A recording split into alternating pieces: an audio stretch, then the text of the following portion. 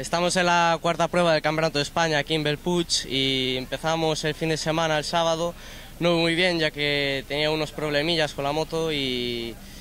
al final terminé en segunda posición, pero para el siguiente día ya hicimos unos retoques en la moto y me encontraba mucho más cómodo